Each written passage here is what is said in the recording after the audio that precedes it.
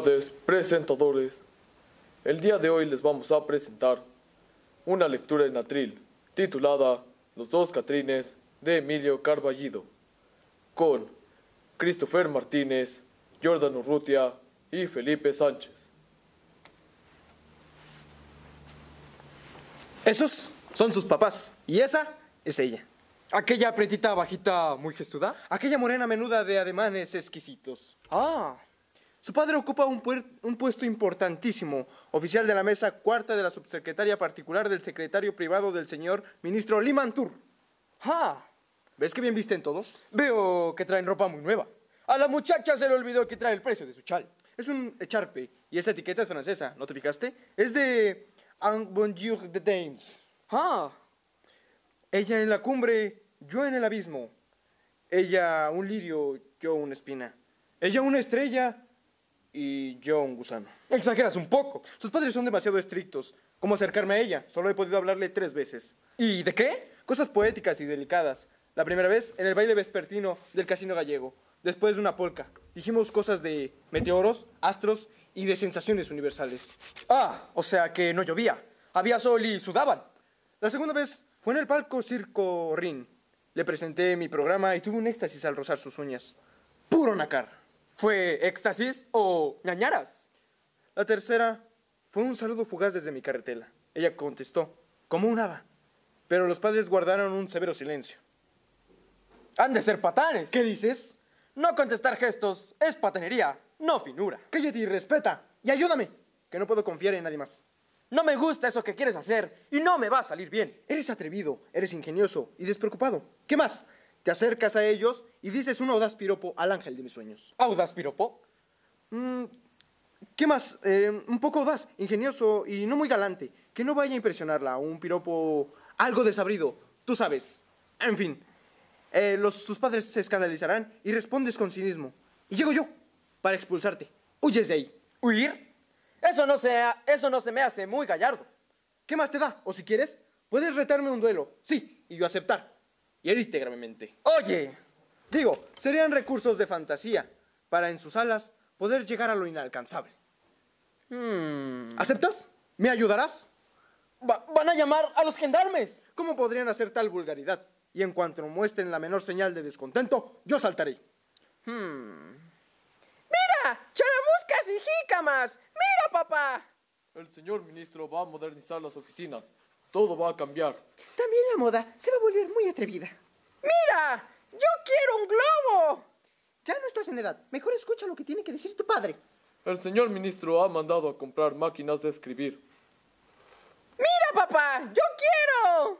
¿Máquinas de escribir? ¿Y cómo puede ser eso? Muy sencillo, igual que el gramófono. Se le da cuerda a una manigueta y la máquina escribe, con muy buena ortografía y con mejor letra que los secretarios. ¿Y también habla esa máquina? No, se comunica por escrito. ¡Papá!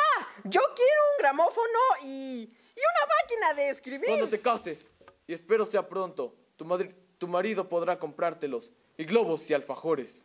¿Y esa máquina escribe todo lo que uno quiere? Naturalmente, ¿acaso el gramófono no toca todo lo que le pides? ¡Yo quiero, papá! ¡Yo quiero! Cállate, estoy ilustrando a tu madre. La... El progreso... El progreso industrial viene de los tiempos modernos. Deberían hacer máquinas de cocinar. Ya las hay. En Chicago hay enormes máquinas en las que metes vacas y cerdos por un lado y por el otro salen salchichas. Quiero mucho a las chaparras, ya que ni alcanza el suelo. Siéntese usted en mi pañuelo, aunque le cuelguen las patas. Una pretita bonita, quiero echar a mi costal. A usted la quiero como mi granito de sal. Honorino, ese joven le está diciendo poesías a nuestra hija. Eso veo. Y me parece que nadie nos lo ha presentado. Pues yo presentes, ustedes presentes. ¿Qué más presentación quieren? Señor, me han advertido que no debe fijarse uno de los lagartijos. Le No. ruego. No, no, no, ni guana ni lagartijo, ni lobo ni escoloprenda. Soy, solo soy un estudiante con vicios de poeta. Pues si es usted tan poeta y en el aire los compone. en fin, no tiene caso ahora ese versito. Los poetas no ganan para vivir.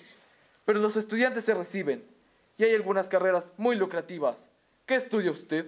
Medicina. ¿Cómo Acuña? Y como Esculapio. Acuñá no se recibió. Esculapio sí. Espero que usted también. A ver, un globo para la señorita. Mamá, me ha comprado un globo. ¿Puedo aceptarlo? Una señorita aceptar dulces, flores y globos si son entregados con urbanidad. Da las gracias. Gracias, señor. Le agradecemos su fineza. Será mejor presentarnos. Honorino Lirón y Caña, para servirle. Doña Gomara Triste de Lirón, mi esposa. Ipsipila Lirón, nuestra hija. Y yo, Daniel Cebada, para servirles. Cebada, ¿no será usted pariente de la familia Centeno o de don Pepe Avena? ¿Este hombre está faltándoles? Lo sé, no se atreva. ¿Por qué? ¿Por qué se acerca este ángel inmaculado? ¡Mamá! ¡Papá! No lo niegue, los está molestando. Yo lo conmino a que se aleje, a un duelo, a pistola y a sable. Eso es, responda como un hombre cabal. Honorino, este hombre está loco. Tal parece. Yo venero a esta familia, no estoy dispuesto a que usted perturbe su paz. ¡Policía! Ah, ¿Yo por qué? Yo solo quería... eh, eh, él es el hombre perturbador. Este es... eh, eh, Daniel, dile lo que pasó. No, señor, no me lleve. Yo solo quería... ¡Alele! Estoy muy impresionada. Ya me habían dicho que en México hay gente así. Nosotros somos de Silao, gente sencilla y de buen trato. No nos andamos con chingaderas. Venga a cenar con nosotros. Me gustaría oírle otras delicadas poesías. Mamá, el señor me está haciendo cosquillitas. Nada más consolándola. Nada más para que se le pase el susto. Y nosotros podamos decir fin.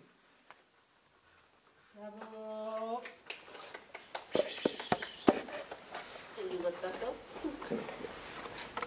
Bueno, pues es que yo acá andaba de eh, paparazzi y se me... La verdad es que es un gusto, es un gusto trabajar con estos chicos. Eh, quiero presentarlos, presentarlos a todos ustedes. ¿De qué lado tenemos a? Maraquiel y Jordan. ¿Y? Y Felipe. y a la maestra Edith que viene con ellos. Eh, la verdad, yo aquí vengo de chalana y chofer, entonces todo el trabajo que tenemos le corresponde el, el reconocimiento a la maestra Edith García, que ha trabajado con los chicos no solamente en este tipo de actividades como lectura en atril, sino en obras de teatro. Ya pronto podrán ver un poco del trabajo que la maestra hace porque de GSTV acudió a nuestra escuela a grabar todo lo que hicimos en eh, hicimos, ¿eh? Hicimos, Edith. Hicimos, maestra, hicimos. Este, hicieron los chicos y la maestra con la obra de teatro, nos divertimos mucho. Eso sí, yo me divierto mucho con ellos. Pero quiero preguntarle a la maestra sobre este proceso. Este proceso de involucrar a los chicos, disciplinarlos eh, y, y que den estos resultados. ¿Qué tanto, qué tan complicado es, maestra? Es una labor titánica prácticamente, hay que tener mucha paciencia y mucho tiempo sobre todo, pero es una satisfacción ya verlos enfrente de, ya presentar el producto prácticamente, porque eh, en los ensayos es una cosa, ya cuando es la realidad es otra cosa muy distinta. Y se observa cada talento que cada alumno tiene, es una gran satisfacción. ¿No te cuesta trabajo? ¿No se revelan? ¿No faltan a los ensayos? Eh, los, eh, ¿Los diálogos se los aprenden? Fíjese que yo he tenido la fortuna de que mis alumnos les digo, lo quiero para mañana, inmediatamente para mañana lo tienen. Es como motivación. He tenido esa fortuna, y sí lo voy a decir, he tenido esa fortuna de que mis alumnos aprenden, son responsables. Escojo, escojo desafortunadamente a aquellos que tipificamos los maestros como rebeldes, como irresponsables, pero no, a mí me muestran el otro lado Claro. la responsabilidad, están al tanto de todo, en los ensayos, es que maestra me falta esto, maestra tengo una sugerencia y eso para mí es satisfactorio. ¿Qué tal la respuesta de la comunidad educativa de la escuela? Fabulosa. Tengo muchísima, muchísimo interés para los chicos de primero que quieren ser partícipes de una obra. Tengo también gente de segundo que quiere ver lo que estamos haciendo, que por qué estamos haciendo tanto alboroto, que ellos también quieren ser partícipes de esto. ¿Y nuevos proyectos? nuevos proyectos. Tenemos otras obras de teatro, tal vez alguna poesía, poesía en, en voz alta, tenemos, este, no sé, algo que se tenga que ver con la literatura, algo, algo.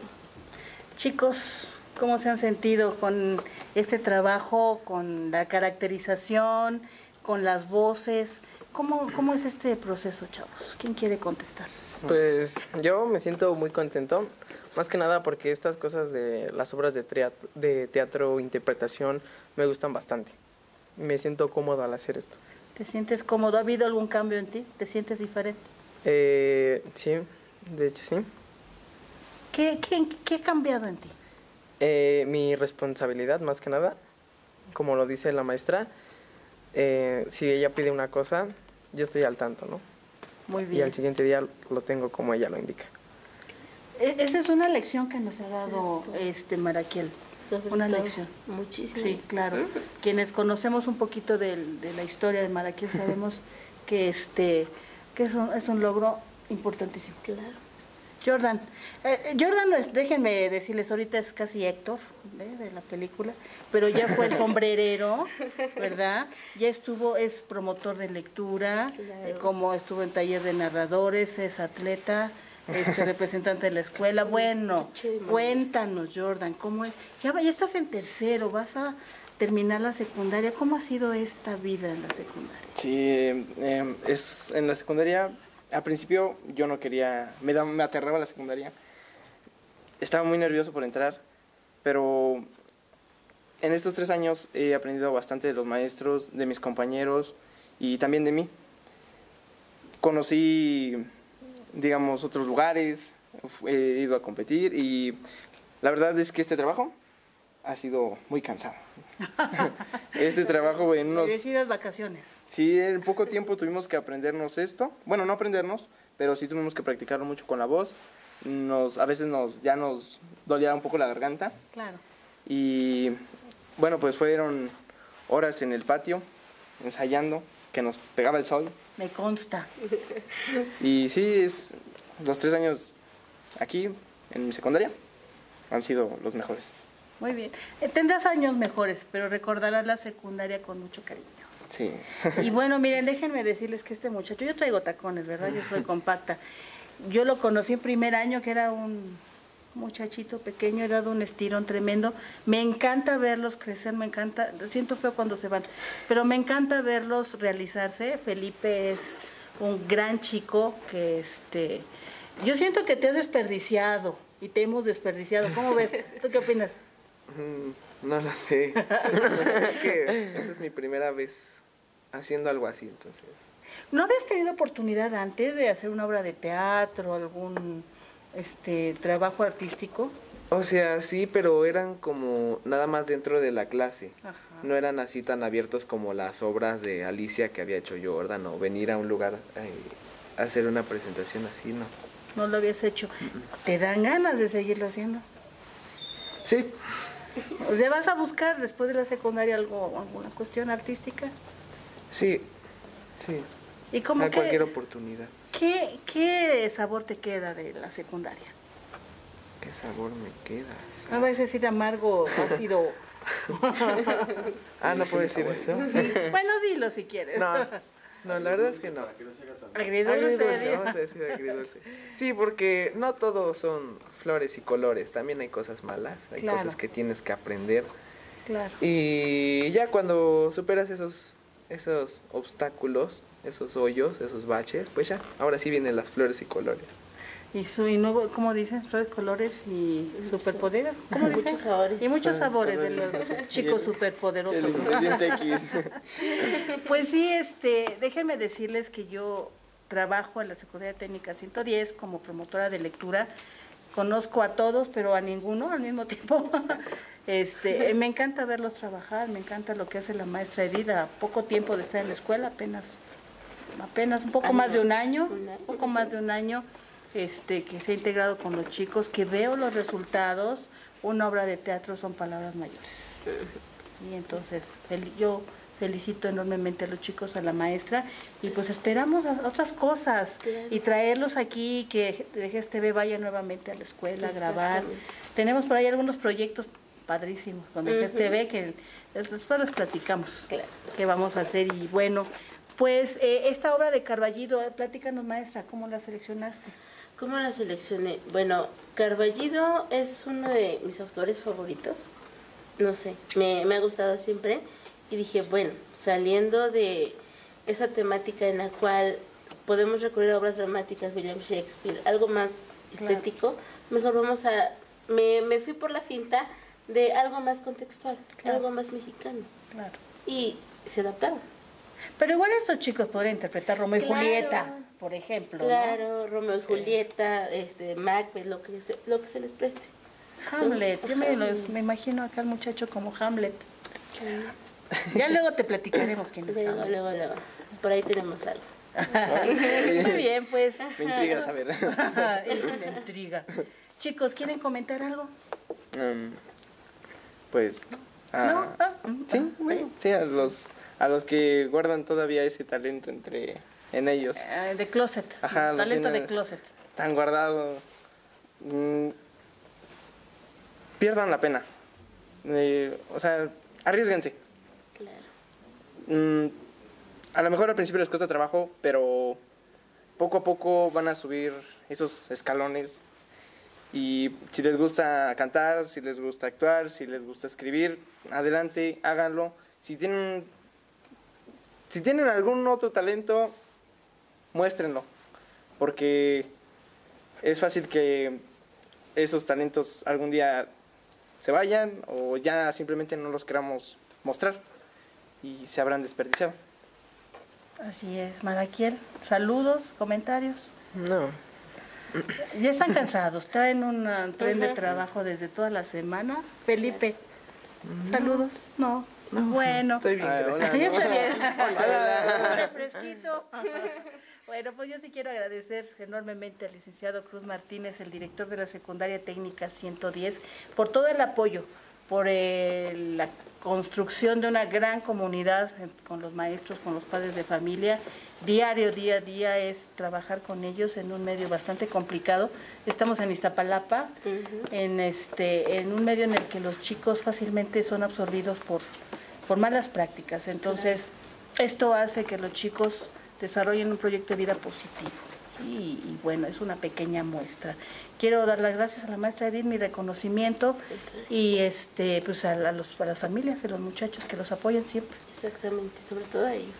¿Algo más que decir, maestra? Pues no, felicitaciones a los chicos. Muy buen trabajo. Para Gracias. hacer un trabajo express fue muy bueno.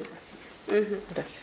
Pues no nos queda más que despedirnos. Muchas gracias por estar con nosotros aquí en TV. Mi nombre es Susana Argueta y los esperamos muy pronto con nuevos, nuevos, nuevas sorpresas. Nos vemos, hasta luego.